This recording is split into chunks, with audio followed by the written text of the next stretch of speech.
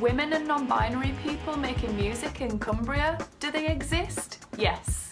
Yes, they do. Hi, I'm marblmoon, and I'm a proudly independent musician living in Carlisle. I've recently been discussing the lack of representation at local music festivals. Women and non binary people take up 22.5% of the worldwide music scene, and as I'm saying this, they're currently topping the chart. But where is this demographic on our very own festival lineups? Solfest, Kendal Calling, and most recently, the Booth that is happening in Whitehaven. Yes, there's going to be a huge festival in Whitehaven with four stages, but not one of those stages has a female or non-binary headliner. We could argue till cows come home about why this is happening and how this is happening and who's to blame. But to counteract this situation and to any local promoters that are watching, here is a long list of female and non-binary music projects situated here in Cumbria. Maya V, Birdseed, Bored at My Grandma's House, Asher Nicholson, Melanie Baker, Kendra France, Stella Grave, Hannah Rose Kessler, Willow Jarvie, Maddie Rose, We Are Quasars, Nicola, Little Strings, Fiona Clayton, Corey Spedding are only a few on my list. We would love to hear what you think about this issue down below and how we can change this very traditionalistic take on music promotion. And if you're a female or non-binary musician living in Cumbria, leave your links below, we'll check you out. Thanks so much.